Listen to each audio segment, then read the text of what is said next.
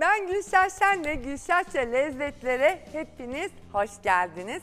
Bugün yine sizler için çok güzel lezzetler hazırladığımı düşünüyorum. Tavuk sarma yapacağız. Bol taze otlu arpa şehriye pilavım var. Ve onlara ananaslı farklı bir tatlı eşlik edecek. Eğer vaktim kalırsa söz veriyorum bir de bir salata yapmak istiyorum. Onun malzemeleri de çok basit ama süreye göre değişkenlik gösterebilir.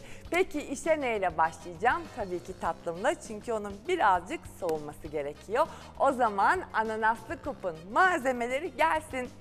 Ananaslı kupun içinde peki neler var? Tabii ki ananasım var. Ben yaz aylarında beyaz çikolatalı soslar hazırlamayı biliyorsunuz çok seviyorum. Bugün yine öyle bir sos hazırlayacağım. Ama tek başına bırakmayacağım. İçine biraz portakal, portakal suyu ekleyeceğim. İlk olarak da işe ananasları şöyle tavada biraz ceviz, şeker ve tarçınla çevireceğim. İnanın bana çok kolay ama bir o kadar lezzetli bir tatlı. Hani yediğinizde böyle tadını o kadar çok beğeneceksiniz ki sanki uzun uğraşlarla elde edilmiş hissi verecek size. İşe tabii ki ananaslarımla başlıyorum. Hemen şöyle alacağım. Bir tane bütün ananasım var. İlk olarak bunları küp küp doğruyorsunuz. O kadar. Ananasları küp küp doğruyoruz. Çok ince doğramayın. Böyle 2 santim kalınlığında olsun. Bunları hızlı bir şekilde doğruyorum. Bunlar hazır. Hemen ocağımın altını açmak istiyorum. Ananaslarla beraber ceviz kullanacağım. Tavan bakıyorum ısındı. Çok fazla ısınmasına gerek yok. Hemen ananasları tavaya gönderiyorum. Bunları birazcık esmer şekerle karamelize edeceğim. Tatlıda beyaz çikolata olduğu için bunun dışında başka şeker yok. Bilginiz olsun. Şöyle bir bakıyorum. Bence bu kadar yeterli. Tam ölçüler zaten ekrana yansıyor. Ama kullanacağınız şeker ölçüsü, kullanacağınız meyvenin büyüklüğüyle değişkenlik gösterebilir. Bilginiz olsun. Üzerine şöyle kaşığın ucuyla biraz da tarçın ekliyorum. Seviyorsanız daha çok da ekleyebilirsiniz. Kesme tahtamı değiştirmeden hemen cevizleri de halledeceğim. Bir su bardağı kadar cevizim var. Bunları da yine aynı bıçakla irili ufaklı doğruyorum. Öyle özel bir sıralaması yok yani. İstediğinizde önce sonra ekleyebilirsiniz. Hiçbir şey değişmiyor. Tecrübeyle sabittir benden söylemesi. Şu an mis gibi kokular gelmeye başladı. Şimdi cevizleri de içine ilave ediyorum. İstiyorum ki hepsi bir araya gelsin, özleşleşsin, bütün aromalar karışsın. Bakın şöyle güzelce karıştırıyorum. Ananaslar suyunu çekip hafif karamelize olana kadar pişecekler. Bu sürede yaklaşık 8-10 dakika maksimum arası. Sosumuz iki aşamalı. İlk aşamasında soğuk süt ile krem şantiyi çırpacağım ama tek başına değil. İçine portakal kabuğu rendesi ve portakal suyu ekleyeceğim. Bir yandan da beyaz çikolatalı sos hazırlayacağım. İsterseniz ilk olarak hemen krem şantimizi çırpalım, aradan çıksın. Krem şantimi ekliyorum. Sütümü de ekliyorum içine. Burada sütün soğuk olması çok önemli. İki tane portakalım var. İkisinin de kabuklarını içine rendeleyeceğim ve sularını da ekleyeceğim. Bilginiz olsun. Süt oranını o sebeple birazcık azalttım. Önce kabukları alıyoruz ama beyaz kısımları almayacağız. Bütün kabukları aldım. Sıra geldi portakallara. Şöyle ilk etapta bir tanesini sıkacağım. Bakacağım suyuna. ikinciyi ona göre. Dikkatli bir şekilde portakal suyunu krem şantinin içine ekliyorum. Çırpma işlemi yaparken hep söylediğim bir şey var. Önce düşük devir, yavaş yavaş hızı arttırıyorsunuz. Yani düşük devirle başlıyorsunuz 2-3 saniye sonra hızınız artacak. Ben de o şekilde yapıyorum. Krem şantim hazır. likit oranı yüksek bir krem şanti hazırladım. Bir nevi sos görevi görecek unutmayın. 2 dakika beni arkada bekleyebilir. Sıra geldi çikolatalı sosa. Hemen çikolatalarımı alıyorum. Bunları ince ince doğruyorum. Henüz kesme tahtamı değiştirmemişken bütün işimi bitireceğim. Sos hazırlarken peki ne yapıyorduk? Kremanın kenarlarından böyle bılık bılık yani baloncuklar çıkmasını sağlıyorduk. Hafif ısıtıp bununla krem şantiyi bir araya getireceğiz. Tam bir yaz tatlısı yapımı da gördüğünüz gibi çok kolay. Kremayı aldım sos tavama ve ocağın altını açıyorum. Ocağın altını açtım. Krema olsun, başka bir sos yaparken süt olsun, ne kullanırsanız kullanın. Bir sos hazırlarken, baz hazırlarken hiçbir zaman ateşin sos kabının dışına çıkmasına izin vermeyin. Aksi takdirde içindeki malzemeyi ısıtmak yerine kenarlarından hafif hafif yakarsınız. Ben size detaylarıyla söylüyorum çünkü bana çok soruyorsunuz. Nasıl yaptın, nasıl ettin? Bütün püf noktalarını programda göstermeye özen gösteriyorum. Bu arada benim kremam ısındı. Hemen çikolataları kremanın içine alıyorum. Kalın bir sos elde edeceğim. Oran ona göre bilginiz olsun. Çünkü krem şantideki likit oranı yüksek olduğu için bundaki krema oranını düşürdüm. Bu şekilde dengeliyorum. Hızlıca karıştıracağım. Bakın kalın bir sosum oldu. Bütün çikolata parçaları eriyene kadar aynen bu şekilde karıştıracağız. Hepsi eridi. Şöyle size krem şantinin kıvamını da göstereyim. Portakal suyu sayesinde böyle bu kıvamda olmasını istedim.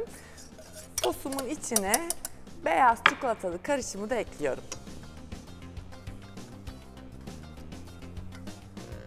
Şimdi bunu bütün karışıma yediriyorum.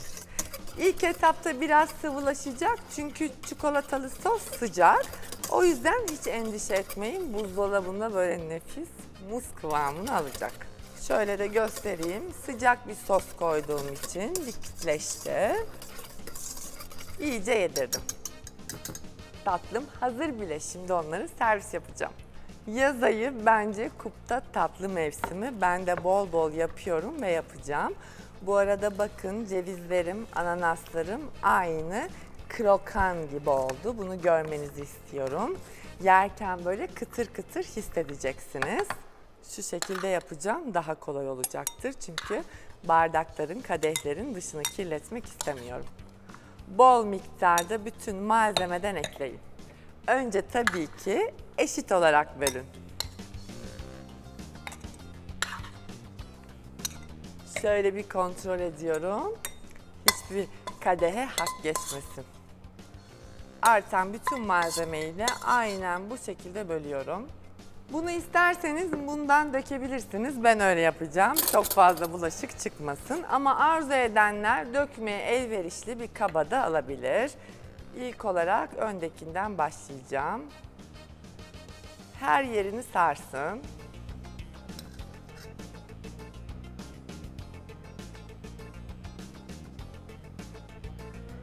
Şimdi bunlar buzdolabına gidecek. Çekimin sonuna kadar soğuyacaklar. Sonra biraz tabii ki süsleyeceğim. Peki ben şimdi işe neyle başlayacağım? Tavuk sarma. E hadi malzemeleri gelsin o zaman. Bu tavuk sarmalar için peki ne malzemelere ihtiyacımız var? Tabii ki ana malzememiz tavuk. Tavuk göğsünü şu şekilde açtırmanız gerekiyor. Yani bir şinitzel yapıyormuş gibi tavuk göğsünü incecik kestirip açtırıyorsunuz ve dövdürüyorsunuz. Şu şekilde katlanabilir, bakın şöyle göstereyim, tavuklarınız oluyor. Bunları kullanacağız ama bunlara lezzetli bir dolgu malzemesi yapmam gerekiyor. Kış mevsiminde olsaydı kesinlikle pazı koyardım. Şimdi içine ıspanak koyacağım. Ama bu ıspanakları soteleyeceğiz ve peynir kullanacağım. Köy peyniri kullanıyorum. Sebebi içinde çok fazla erimesini istemiyorum. Size de bunu öneriyorum. Aynı zamanda da üzerine ama piştikten sonra kaşar peyniri ve domates ekleyeceğim. O zaman hızlıca ıspanaklarla işe başlamam lazım. Ocağımın altını açtım çünkü döküm tava ısınmasını istiyorum. Hemen hızlı bir şekilde soğanlarımı yemeklik doğrayacağım.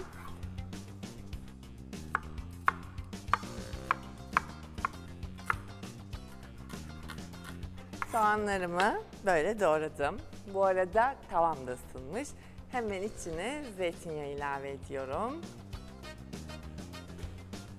Şöyle 2-3 yemek kaşığı kadar çünkü koydum zeytinyağı hem soğanları hem ıspanakları pişirecek. Bu arada önümde tavuk suyu var. Onu ne yapacaksın diye soruyorsanız bana güzel bir sos hazırlayacağım. Onu önce sos tavasında ısıtacağım. Sonra salçalar ekleyeceğim. Biraz baharat. Tavuğumuzu lezzetlendirmemiz gerekiyor çünkü tamamıyla sos için kullanıyorum. Bu arada hemen soğanların üzerine bir çay kaşığı tuzu ekledim. Bu ara şansıma soğanlarım çok acı. Ben yine yapmaya başladım. Hafif acısı geçti. Hemen içine sarımsaklarımı ekliyorum. Şöyle sert kısımları mutlaka ayırıyorum. Orta boy 3 diş sarımsağım var. Hepsini içine ekliyorum. Sıra geldi ıspanaklara. Bunların böyle ince saplarını lütfen ayıklamayın. Çok kalınları alın. Hem lezzet verir hem de böyle dibinden ayıklarsanız malzemenin yarısı gider. Ben mutlaka bütün salatalarda ince sapları da kullanıyorum. Bu arada fırınınızı 170 dereceye ısıtın. Bir de yanınıza ısıya dayanıklı bir kap alın. Her zaman fırında et yemeği yaparken ne yapıyorduk? Mutlaka içine su koyuyoruz. Buhar etkisi yaratsın. Etimiz, tavuğumuz, balığımız kurumasın diye.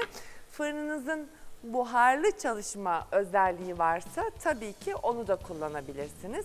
Ama ben burada her evde olan özelliklere göre tarifleri vermeye özen gösteriyorum. Şimdi tabii ki ıspanakları doğruyoruz. Ben her zaman olduğu gibi soğanlarımı çok öldürmüyorum. Bu şekilde yeterli çünkü ıspanakla da biraz pişecekler. Bütün ıspanakları tavaya gönderiyorum. Arada mutlaka böyle alt üst yapın. Yavaş yavaş karıştırıyorum. Şimdi bir yandan da sosu hazırlayacağım. Onun için de tavuk suyu, biber salçası ve domates salçası kullanacağım. Salçaları bu sefer kavurmayacağım. Suyun içinde bunu normal suyla da yapabilirsiniz tabii ki ama tavuk suyu kullanırsanız çok daha lezzetli olur. Salçalarım suyun içinde çözünecekler o kadar. Sos tavamın içine tavuk suyunu aldım.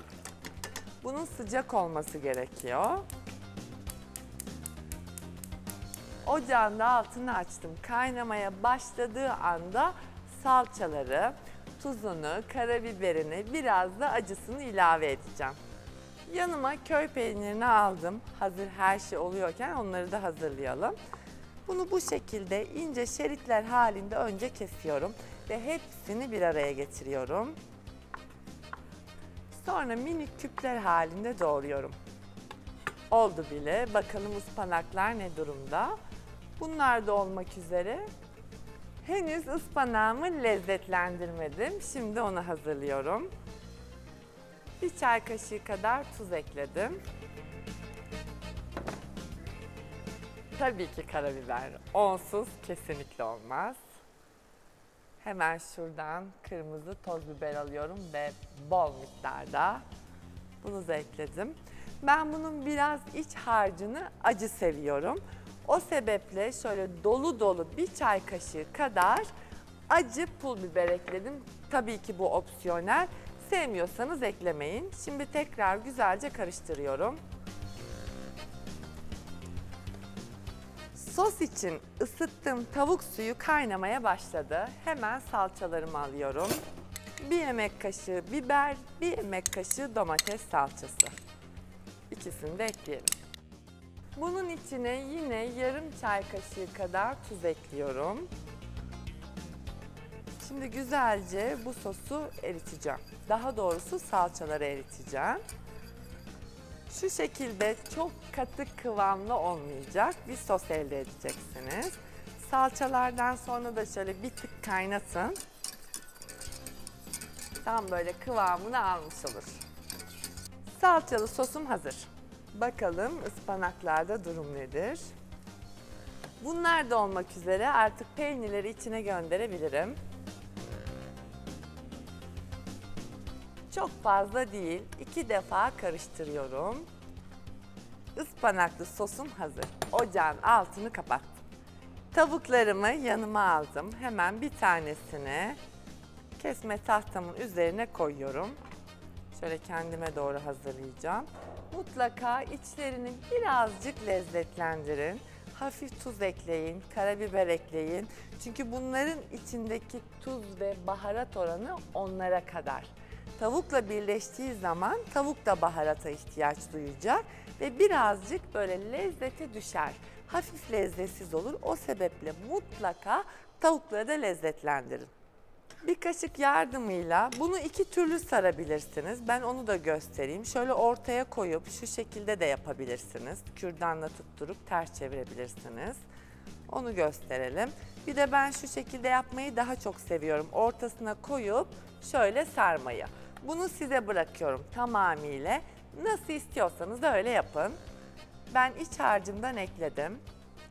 Mutlaka suyundan da gelsin peynirlerinden, hepsinden alın. Biraz da böyle bol miktarda koyun. Şişik şişik dursunlar. Şimdi bunu dikkatli bir şekilde sıkarak şöyle çeviriyorum. Bu arada iyice sıkın. Ispanağın fazla suyu varsa o da gider. Bunu aldım. Bunu böyle bırakırsam açılır. Dolayısıyla kürdanla bunu tutturmam gerekiyor.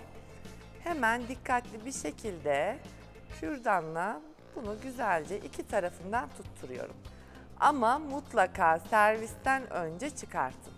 Bakın tutturduktan sonra ters çevirdim ve hemen tepsime yerleştirdim. Şimdi aynı şekilde bunu da hazırlayacağım. Yine hafif bir şekilde içini lezzetlendiriyorum.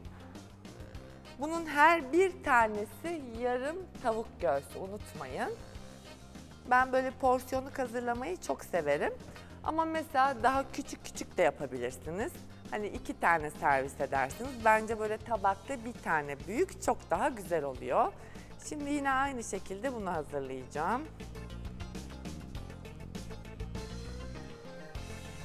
Yine sıkın, ıspanağın fazla suyu çıksın. Bu arada harcım çok sıcak, hafif hafif yanıyorum. Bakın bunu da yine aynı şekilde tutturuyorum. Buna bir tane kürdan yeterli olacaktır. Şu kısımları da katlayın ve böyle yerleştirdim.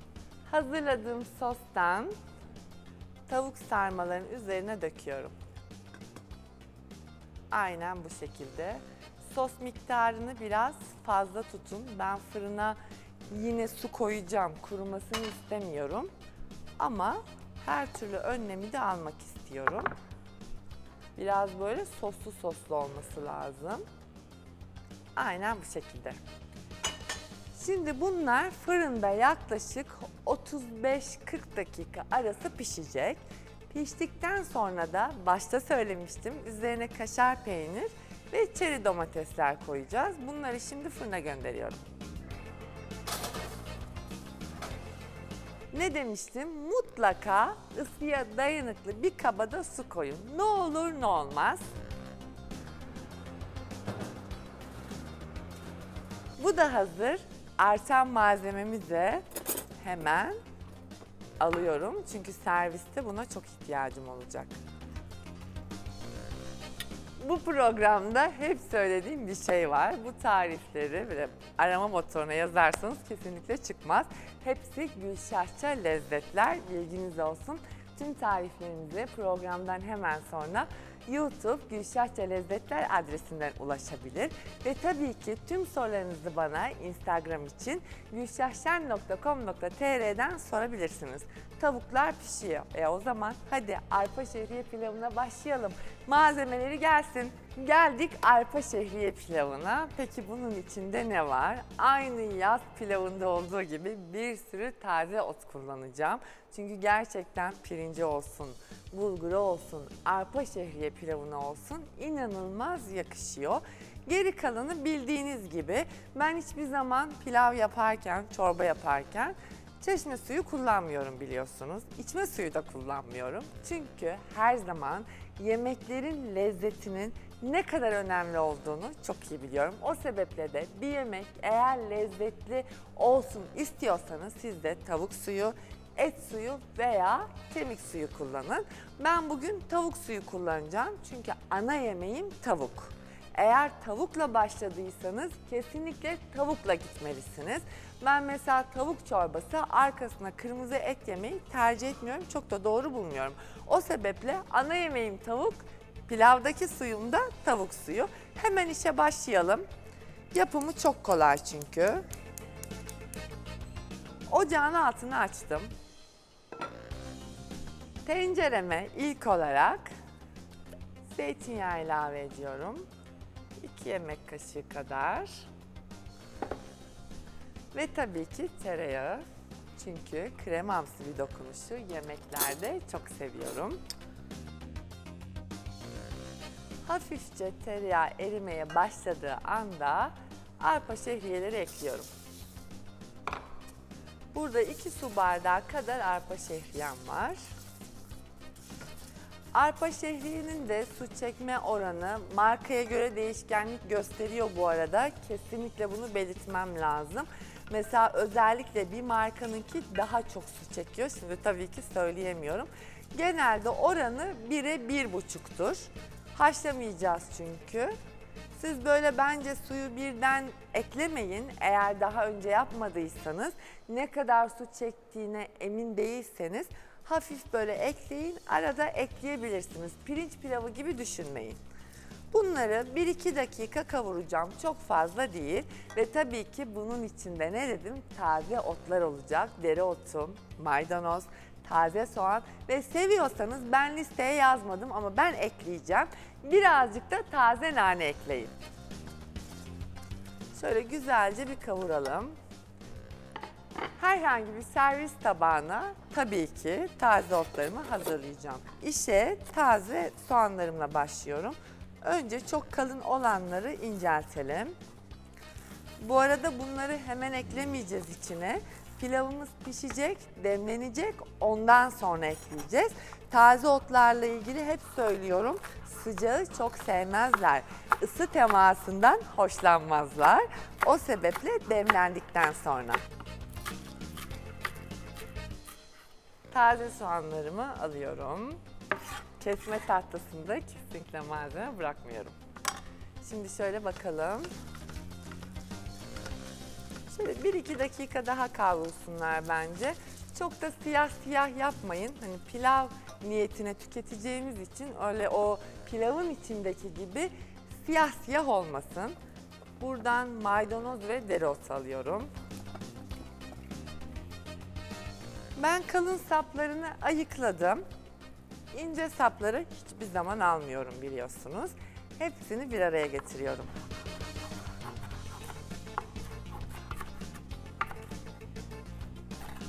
Mutlaka her zaman üstünden geçerim artık bunu biliyorsunuz. Şöyle doğrarken bile ince sapların çıtırtısı bence bir başka oluyor. Bir yandan hemen kontrol edeceğim. Evet olmaya başladılar. Hafif kızardılar. Benim için bu kızarma derecesi yeterli. Şöyle bir karıştırıyorum. İlk olarak domates rendesi ekleyeceğim. Bir su bardağı kadar. Burada biraz fazla var. O sebeple hepsini koymadım. Şöyle bir karıştırın.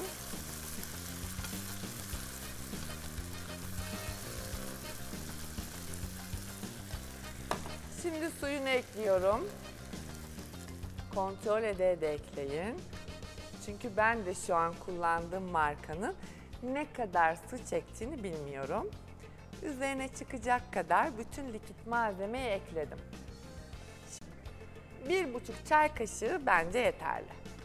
Güzelce bir karıştıralım.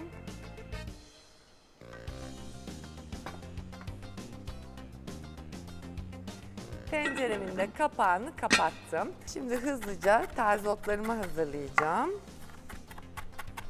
Bunları da tabağıma aktarıyorum. Ve sıra geldi nanelerime. Bence çok yakışıyor ama siz ne dersiniz bilemem. O sebeple ben kendim için şuradan şöyle bir dal alıyorum. Bunun sapları kalın. O sebeple diğer taze otların içine karıştırmadım. Hemen kesme tahtamı ayıklıyorum hızlı bir şekilde. Kaçan bir maydanoz var onu da aldım.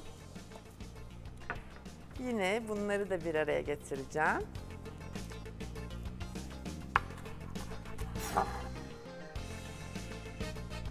Bu da hazır. Başlarken size söz vermiştim. Eğer zamanım kalırsa çok da güzel bir salata yapacağım demiştim. E madem öyle dedim, hadi yapalım. Malzemeleri gelsin. Salatama çok şükür süre yetti ama ona başlamadan önce hemen fırına döneceğim. Çünkü tavukların 20. dakikasında üzerleri salçalı sosları yanmasın diye aynen şu şekilde folyo ile kapattım. Siz de lütfen böyle yapın. Tekrar arpa şehriye pilavına geliyorum. Şöyle bir karıştırıyorum. Bakın artık altını kapatabilirim. Çünkü beklerken de su çekecek. Böyle tam pişmeden, pişmesine 1-2 dakika kala ne yapıyoruz? Anne usulü hemen temiz bir mutfak havlusunu alıyorum. Pirinç pilavını da aynı bu şekilde yapıyorduk. Tam pişmeden altını kapatıyorum. Ve bunu hemen arkama soğumaya alıyorum. Bu salata benim çok sevdiğim bir salatadır. Bilginiz olsun. İçinde kurutulmuş domates ve hellim peyniri var. Ama hellim peynirlerini tabii ki kızartmam gerekiyor. Onun dışında sevdiğiniz bütün yeşillikleri alın. Hepsi çok yakışıyor. Bende roka var. Akdeniz yeşilliği var, taze soğan var ve tabii ki arkamda koca bir demet yeşillik var. Hepsinden azar azar kullanacağım. Sosumda bugün balzamik sirke, hardal ve kuru fesleğen kullanıyorum. Şöyle alalım. Yine bunun sosuna da sarımsak çok yakışıyor bilginiz olsun. Eğer yazayı ben sıcakta sarımsak yemekten rahatsız olmam diyorsanız mutlaka ekleyin. Çünkü ben ekleyeceğim. Hemen hızlı bir şekilde yeşillikleri doğrayacağım. Fakat yine bu salata içinde küçük bir püf noktam var. Kurutulmuş domates kullanıyorum dedim. Bunları mutlaka bir 4-5 dakika sıcak suda bekletin. Şöyle yumuşasınlar. Aksi takdirde çok sert olurlar. Ben beklettim. İlk olarak bunları süzeceğim. Gördüğünüz gibi yine tezgahımı pazar yerine çevirdim ama gerçekten çok seviyorum. İlk olarak taze soğanla başlayalım. Bunları doğrayacağız. Şöyle bir baktım. Bunlar da şu an için kalın, çok kalın inceltilmesi gereken beyaz kısımdan yok. Bunları ince ince doğruyorum.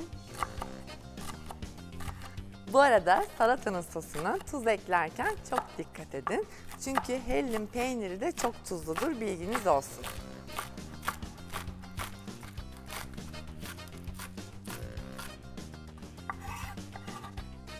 İsteyenler tabii ki kuru soğan da ekleyebilir. O da çok yakışır. Akdeniz yeşilliklerini bıçakla doğramam ben. Şöyle bakıyorum. Çünkü çok narin oldukları için hemen kararırlar. Direkt koparıp içine gönderiyorum. Çok da severim bu arada. Buna roka da çok yakışır. Ben biraz da roka eklemeyi düşünüyorum. Şöyle bir bakalım kenarı kaçanlar oluyor. Onları da hemen almak istiyorum. Bence bu kadar yeterli. Geldik buraya. Buradan birazcık roka alacağım. Bunlar da çok körpe. O sebeple bunları da elimle halledeceğim. Bakın şöyle sesini duyabilirsiniz. Taze yeşillik sesi. Böyle kütür kütür olur. Hep söylüyorum tam mevsimi bol bol sebze tüketin. Bol bol taze ot tüketin. Oldukça da ekonomik. Rokaları da yine doğradım. Şöyle karıştıralım. Şurada minik yapraklar var onları da ekledim. Sadece sert kısımları aldım. Sonra bunun içine başka ne girsin? Madem getirdik. Bir sürü yeşillik aldım. Şuradan birazcık hemen dereotu alıyorum. Biraz maydanoz. Tamamen hayal gücünüzü kullanın. Şöyle döndürüyorum. Taze reyhan bence çok güzel olur. Ama bunu kullanırken lütfen dikkat edin. Hep söylüyorum. Ben çok kullanırım. Çok güçlüdür. Hani çok koyarsanız bütün lezzetlerin önüne geçebilir. Bilginiz olsun. Bunun da sert yapraklarına yıklıyorum. Burada istiyorum ki bütün aşamaları görün. Bana çok soruyorsunuz çünkü. Ben de detaylı olarak mutfağa ilk defa girenler olabilir, gizle girenler olabilir diye bütün püf noktalarını gösteriyorum. Siz tabii ki tüm tariflere programdan hemen sonra YouTube Gülşahça Lezzetler'den ulaşabilirsiniz. Instagram için de gülşahşen.com.tr'den bana tüm sorularınızı sorabilirsiniz. Bunları da çok ufaltmıyorum. Aynen bu şekilde. Biraz domatese ihtiyacım var. İstediğiniz her domatesi kullanabilirsiniz. Bunu süs olarak kullanacağım. Şöyle 4-5 tane ayırdım. Salatanın böyle üstüne hatta bir tane daha alalım altı olsun. Topak halinde koymayı çok seviyorum. Kurutulmuş domateslerim var. İkisini de karıştıracağız. Tam mevsimi geliyor kurutma işleminin bilginiz olsun. Siz de kendiniz yapabilirsiniz. Balkonunuz müsaitse. Çünkü kışın marketlerden aldığınız takdirde birazcık pahalı olabilir. Hızlıca bunları da doğrayacağım. Hepsini bir araya getiriyorum, sıkıştırıyorum. Burada dikkat edin ıslak olduğu için bıçağınız kayabilir.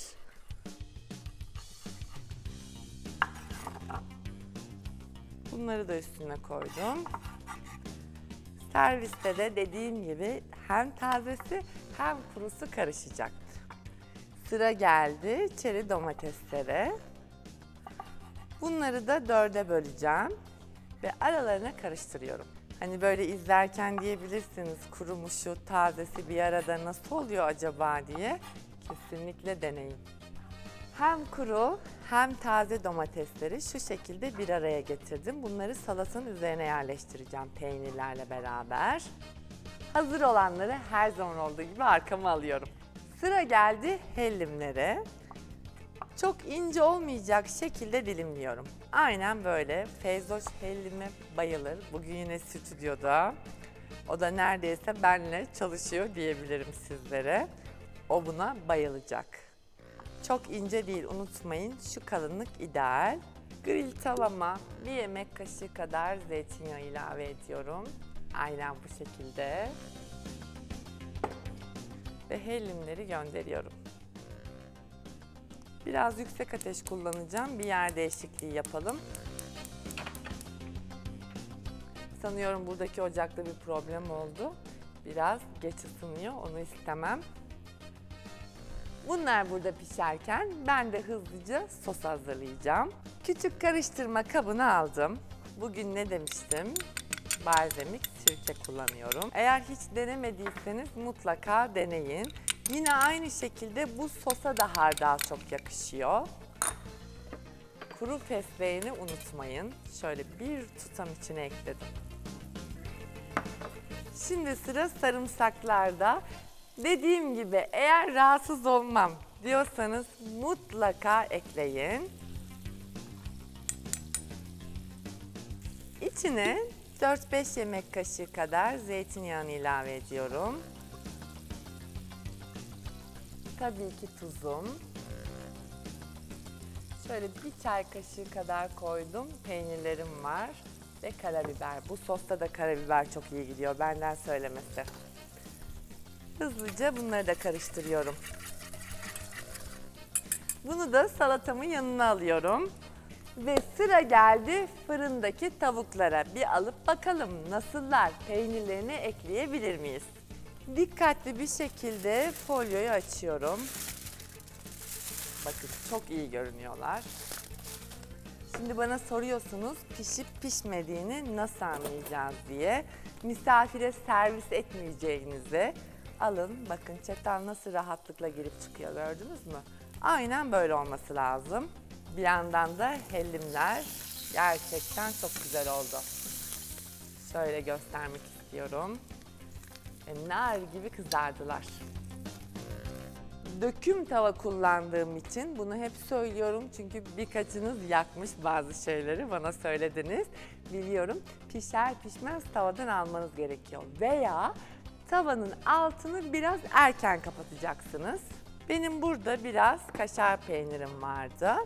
Şimdi yine aynı kesme tahtasında bunları dilimleyeceğim. Bunları tavuğun üzerine bu şekilde koyun. Kaplayın peynirle. Aynen böyle. Arzu ederseniz şu şekilde de onu da göstereyim. Hani tercihe bağlı. Sunumda da şık durur. Bir tane çeri domatesi şu şekilde tutturabilirsiniz. Bunu tamamen size bırakıyorum. Ama benim de şu an hoşuma gitti. Ben de yapacağım. Bunu fırına göndermeden kapağı açacağım ve size bir şey daha göstermek istiyorum.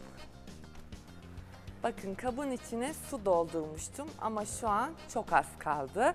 Tavuklarımın kuru olmama sebebi aslında sosu kadar bu suda. Çünkü içeride bir buhar etkisi yarattı. Şimdi bunu tekrar fırına gönderiyorum. Burada peynirler eriyip hafif kızarana kadar pişecek. Evimde de inanın aynen böyle yapıyorum.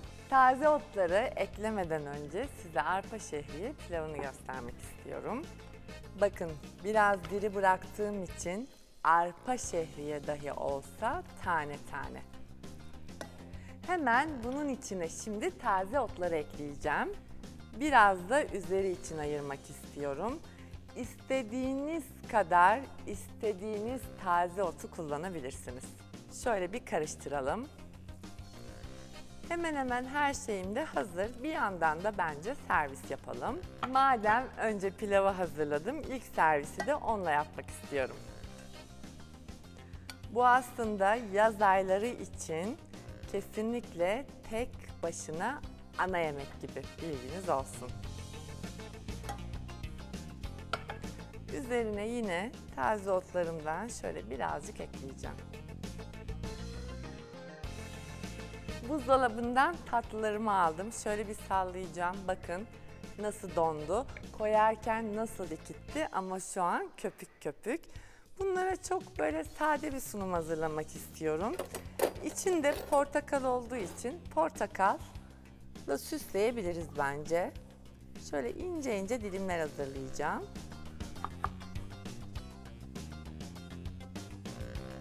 Tam bir yaz tatlısı benden söylemesi. Hazırlaması, yapması, sunumu hepsi gerçekten çok kolay. Sırada salatam var. Hemen şöyle bir sosu karıştırıyorum. Dibe çökme oluyor biliyorsunuz. Bir kısmını ayırdım. Bütün malzemeyi bir araya getiriyorum. Hepsini. Şimdi bol miktarda tabağıma ekliyorum. Bu ne kadar çok olursa o kadar güzel olur bilginiz olsun. Domatesler hazırlamıştım. Karışık.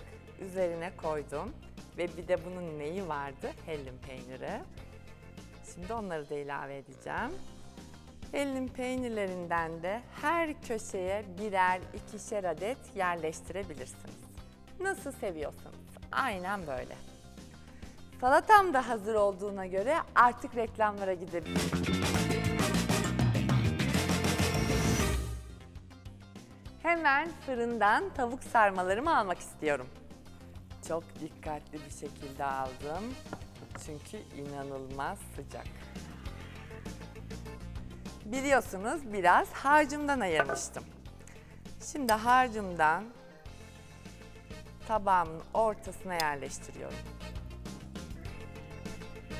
Şimdi dikkatli bir şekilde şöyle gözüme kestirdiğim bir taneyi alıyorum. Çok sıcak lütfen dikkat edin. Ve tabağımın ortasına yerleştirdim.